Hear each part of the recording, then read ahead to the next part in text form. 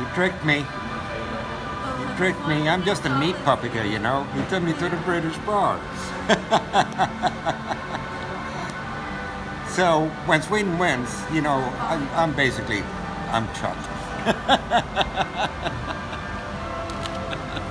Can I introduce everybody to the only Swedish person in here today?